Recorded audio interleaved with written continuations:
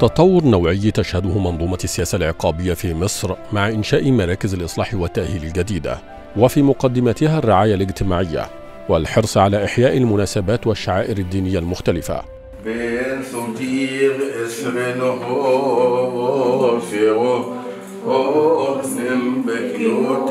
من هذا المنطلق أقام قطاع الحماية المجتمعية بوزارة الداخلية احتفالات عيد القيامة المجيد بالتزامن مع إحيائها في ربوع مصر ويعني وجودنا جوه كنيسة دي حاجة جديدة خالص بنشكر الداخلية عليها وبنشكر سيادة الرئيس طبعا على المجهودات العظيمة اللي بتتعمل في البلد. طبعا إحنا جايين النهارده عشان نهني النزيلات بعيد القيامه المجيد ونقول لهم كل سنة وأنتم طيبين.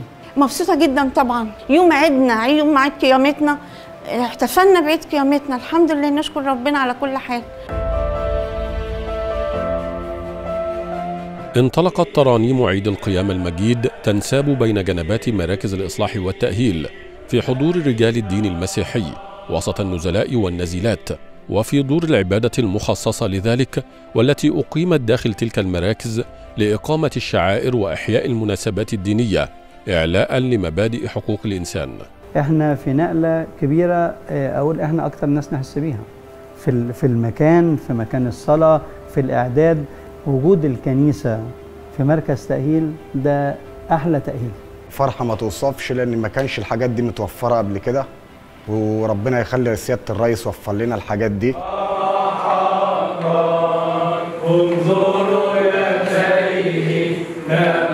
فرحة كبيرة بين النزلاء احتفالا بهذه المناسبة حيث أشادوا بحرص وزارة الداخلية على إقامة القداس بالتزامن مع إقامته في الخارج وهو ما يضفي بهجة وفرحة عليهم كما أشادوا بمنظومة الإصلاح والرعاية داخل مراكز الإصلاح والتأهيل الجديدة والتي توفر لهم حياة كريمة. الكنيسة هنا ما تختلفش خالص كليا وجزئيا عن الكنيسة اللي في الشارع. في أي حاجة في طقوسها وفي النظام بتاعها وفي مبانيها طقسية كما كان اللي هي في الشارع بالظبط. أكيد شيء بيسعدنا كلنا يعني بيسعد كل الناس اللي موجودة إن إحنا تقيم لنا صلوات في أعيادنا وفي نفس التوقيتات مش قبلها ولا بعدها. إحساس طبعا ما توصفش إن أنا وسط إخواتي آه، إن إحنا بنحتفل في الكنيسة هنا في في مراكز الإصلاح والتأهيل الحاجات دي ما كانتش تبقى متوفرة من قبل. لو جينا هنا لقينا الحاجات دي على أعلى طراز على أعلى مستوى. إحياء المناسبات الدينية هي جزء من منظومة متكاملة من الإصلاح داخل مراكز الإصلاح والتأهيل الجديدة تعتمد على تقويم السلوكيات وتصحيح المفاهيم وإكساب المهارات المتنوعة للنزلاء وتقديم كافة أوجه الرعاية لهم ما يؤهلهم لبداية حياة جديدة عقب الإفراج عنهم.